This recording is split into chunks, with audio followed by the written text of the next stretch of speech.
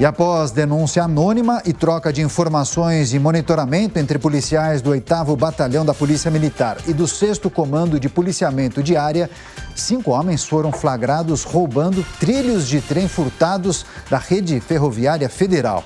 O montante pesa cerca de 12 toneladas. Então vamos acionar o Matheus Coelzer, nosso repórter diretamente do Rio de Janeiro. Matheus, seja muito bem-vindo. Bom dia a você. Conta pra gente como eram carregados esses trilhos pesadíssimos, né? Exatamente, Daniel. Ótimo dia para você, Adriana, a todos que nos acompanham aqui no Jornal da Manhã. Como você falou, foram pelo menos 12 toneladas que foram furtadas desses trilhos, desses trens, isso em Campos, no norte fluminense.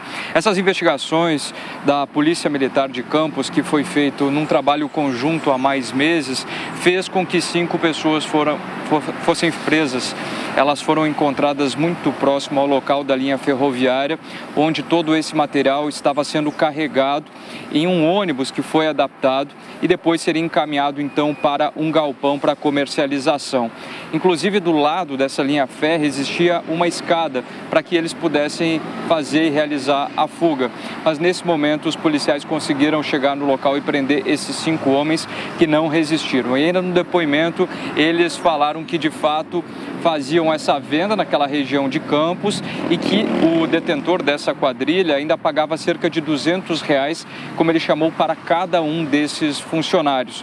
Um problema recorrente em Campos, porque há dois meses outros cabos e também na questão da linha férrea, outras linhas também foram roubadas, furtadas, no montante de 5 metros. Essa é uma problemática recorrente em Campos, no norte fluminense. Mas não só lá, viu? Aqui no Rio de Janeiro, na capital fluminense, segundo a Supervia, já foram roubados, furtados muitos cabos, muitos trilhos, num aumento de 70% se comparado ao ano passado. E é aquela realidade, né, Daniel, que a gente traz todo dia aqui no Jornal da Manhã a respeito das dificuldades das pessoas em realizarem, em chegarem no trabalho, em irem para casa nesses terminais. Aqui onde nós falamos ao vivo no Jardim Oceânico, pessoas que utilizam o metrô, inclusive para se deslocarem para os trens, têm relatado que esse problema é constante e há uma grande dificuldade. Aqui no estado do Rio, o governador Cláudio Castro, na época, também instaurou uma CPI da Supervia para que de fato pudesse se entender o que estava acontecendo, porque a Supervia aumentou, inclusive, o valor da passagem, o valor que estava na casa dos 5, 6 reais passou para 7 reais. Isso também trouxe diversos transtornos para essas pessoas que tiveram que ir até esses locais para comprovar a baixa renda e conseguir ainda manter o valor da passagem. E o governador Cláudio Castro já havia falado que só deveria acontecer esse aumento da passagem se houvesse uma regularidade nos serviços prestados pela Supervia e também a solução dos problemas. Tem pessoas que ficam nesses ramais aí pelo menos duas horas aguardando, principalmente nas pessoas que vêm da Baixada Fluminense aqui para a capital.